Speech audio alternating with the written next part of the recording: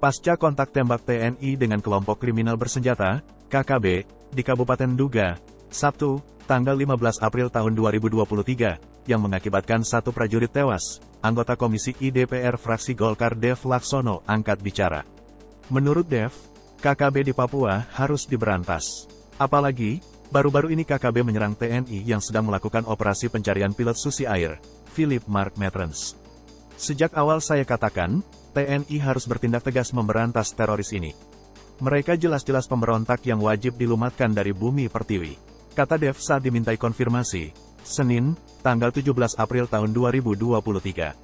Dev menjelaskan, KKB tidak pernah peduli dengan hak asasi manusia, HAM, yang mereka langgar selama ini.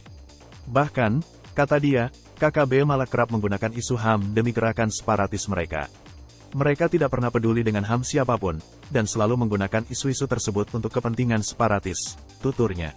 Sementara itu, Dev juga mendorong agar pihak-pihak yang membantu KKB selama ini turut diburu. Menurut Dev, para penyokong KKB ini juga merupakan pelaku pelanggaran HAM berat. Dan juga semua pihak yang telah menyokong kegiatan mereka, juga wajib untuk kita kejar dan proses. Karena mereka juga pelanggar HAM berat, imbuh Dev.